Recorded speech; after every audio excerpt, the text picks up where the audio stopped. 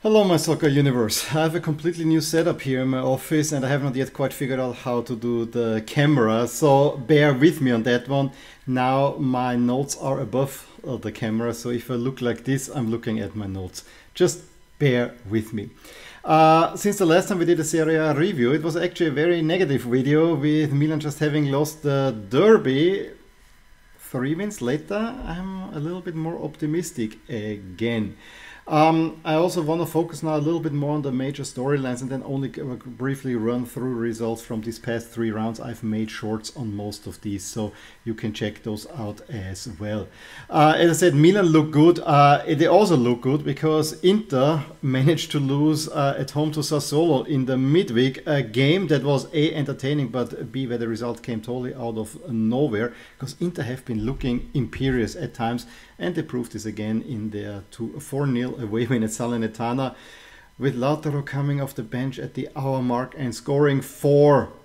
And most of them one touch goals. Really really amazing stuff. He might be the best player in the league at this very moment.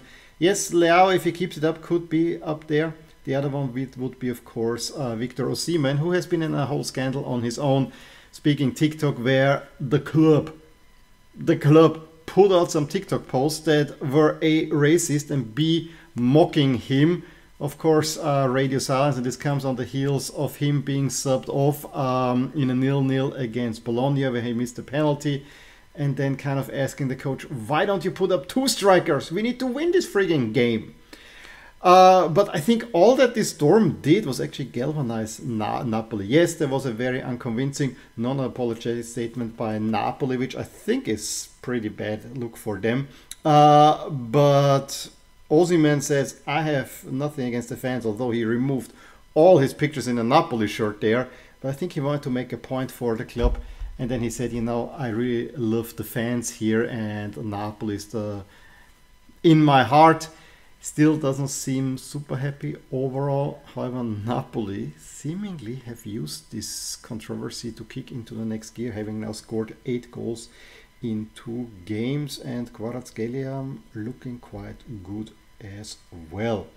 Uh, the Lecce story took a little bit of a nosedive. Uh, now they have played two uh, bigger teams, and yeah, have lost both of them. So uh, um, Juve and Napoli I guess Lecce might not be implicated into relegation, uh, but I think their story is very much over. Speaking of Juve, the last time we talked about them, they looked really good, and then they put in one bad performance after another. I mean, Sassuolo, who beat Inter, uh, also then uh, on the heels of that, they beat Juve 4-2 deservedly, so in a highly entertaining game. Really this was a super entertaining game to watch uh, with so many blunders defensively on the Juve side, uh, especially 1-0 by Szczesny, but also then the last goal where he plays out from the from the back. And I think it was Gatti who then uh, puts it into his own net because Szczesny didn't uh, bother to run back and he didn't look. So uh, not good. On the other side, I think Chiesa is finding form, but Juve is still very much shaky. And I doubt at this moment that they really can do a Scudetto challenge, even if they have no European commitments. Um, but hey, Inter look definitely the strongest, and I think that even Milan might be better than Juve. And if Napoli continue the form, I think we have three teams that I would consider ahead of Juve. I have not talked about any of the Roman teams so far because they are just horrific. Lazio cannot get any foot right at the moment, uh, and they were outplayed by Milan on the weekend. Uh, I think the only thing that uh, they are nurturing so far is the goal from Provedel in the Champions League. Uh, there's a lot of unrest with Lotito, the club chef, uh, basically doing transfer business by himself, uh, not getting the players that Sarri wanted. Sarri complaining left and right, too many games, blah, blah, blah. They also lost quite some players, so uh, the defensive structure for Lazio is definitely gone. And Roma I mean, they looked really bad when they lost to Genoa 4 1. Yes, it could have been 2 2, and yes, Lukaku at least is scoring for them, but Roma look like a real mess at this very, very, very moment, and the Mourinho magic is gone. He now starts with this spiel that, you know, respect, respect. Um, yes, this is the worst start I ever had or the worst start uh, in my Roma career, but this is also the last. Um, Roma has not reached two consecutive finals in a row, and in his mind, he has not lost any of these finals. Technically, that's true, but he has only one trophy to show. So yeah, uh, Roma is a little bit of a worry. At least they've re- released a beautiful third jersey in uh, black.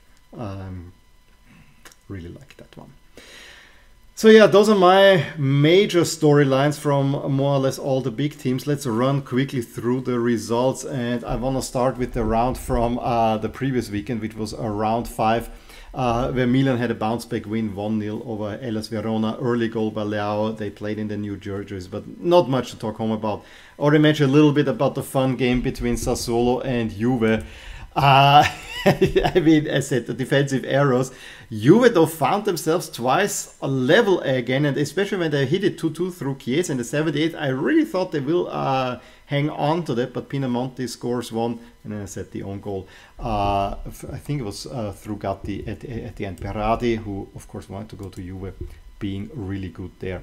We already mentioned Bologna against Napoli, uh, mainly because of the Osimhen versus Rudi Garcia meltdown. They did not really look good. Uh, Osimhen missed a penalty. I think they even hit uh, the woodwork early on.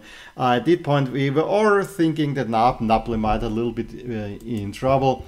And Roma cannot hold on to a 1 0 lead through Lukaku at Torino, um, who get the equalizer through Zapata. Uh, Inter, of course, won in that round as well uh, through a really, really good goal by Di Marco. Should have won by a whole lot more against Empoli. Then we had the midweek round. Juve, a very unconvincing 1 0 win over Lecce, but I think I was a little bit more uh, disappointed on how little uh, Lecce were showing. Milan's 3-1 against Cagliari was actually quite impressive because not only was their rotation, they played well. They went then down uh, through Luvumbo uh, at a point where I then thought, oh, if they get a second, this could go pear-shaped, although I think they were playing well. But Okafor and Tomori turned it around before the half with uh, some nicely played goals. Yes, it was not then, you know, it was always a bounce in between, but Pulisic uh, provided a well there, and then a great goal by Loftus Cheek. I I actually like that performance uh, because Cagliari is not an easy place to go to. In the evening, of course, we had the Interlos to uh, Sassuolo. They were 1 0 up through Dumfries, but uh, it was already a little bit of a shaky lead, it has to, to be said. And then Bajrami, yes, this was a goalkeeping mistake by uh, Sommer. But the Berardi shot, that that was great. And honestly, in, in the end, Sassuolo really deserved that win. I was a little bit disappointed by Inter there. This was one of the performances that Inter always have in there. I was also shocked when I saw Davy Klaassen come coming out. That was a transfer that completely passed me by, to be honest. Um, we also had, of course, Napoli bouncing back, big win, Osimhen scoring, giving a penalty to uh, um, uh, to Zielinski early uh, early on to not to kind of stave off the criticism. Although Rudi Garcia said, "You take it, you you take it," and then Kvaratskhelia celebration after he made his first goal of the season really said, "Okay, this is now Napoli unleashed again. Uh, oh, he's unleashed." And that might bode well, and then Simeone also scoring. And what I like with Napoli is not only one player scoring; it's uh, they spread it out a whole lot. Uh, and we already talked talked about 4-1 of Genoa against Roma, which was the other great result.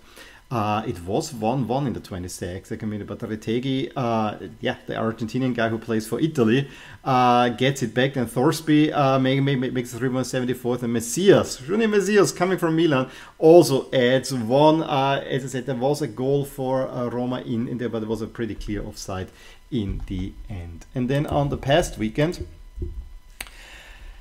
we had, uh, of course, Lecce losing at home 4 0 to Napoli. Um, first two headers by Østigard and Osimhen, and then lay down Gaetano, who is a youth team pro product. He just came on with his more or less with his first touch. He scores, and Politano makes it a rout. But I think it, there was this difference between the two teams. As I said, Lecce coming a little bit down.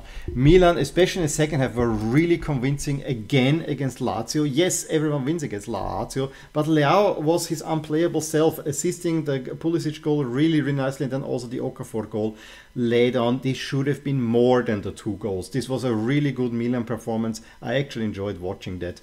Um, unfortunately, Lask at the same time were losing as it's usually my Saturdays these days. I hate European when everything has to be squeezed together. But just when you thought that you know Inter might, might be under pressure, they show up in Salerno, and as I said, Lautaro Martinez scoring four in 60 minutes coming off the bench. That has never happened before in Italy. It's a really impressive feat, and I think especially was it his first or second goal? He just lobs the goalie. He does not uh, go for a shot. He lobs it. It's brilliant, brilliant, brilliant stuff that Lautaro were doing. And as I said, Inter, I think at the moment have to be unfortunately considered, fortunately since I'm a Milan fan, as the best team in Italy. They look, they look really imperious overall. Imperious was also the choreography uh, from the Salerno fans celebrating uh, Pink Floyd of all. They, they were celebrating Dark Side of the Moon, but they had uh, two heads from the Division Bell up there. They had the wall in there. Of course, and they showed also the prison.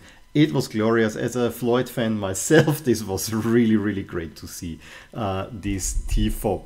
Um, other games we had, yeah, Atalanta Juve. I actually, and I was happy that I was not focusing this was not a good game. Uh, I thought that you were a teeny bit better in the first half. Second half, it was more Atalanta where Jesse and Denver uh, was keeping uh, the draw, especially with a great save after a Koopmeiners free kick, I think it was. But yeah, not much to talk home about.